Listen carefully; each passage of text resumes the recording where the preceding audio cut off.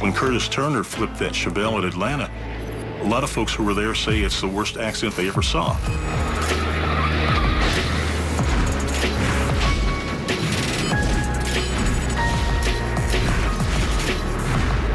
No, I was there, and the car was just torn to smithers.